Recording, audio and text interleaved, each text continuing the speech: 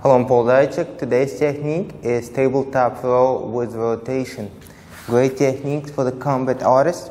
So here, feet flat, I'm gonna pull up and rotate. Come back. Okay. Another angle.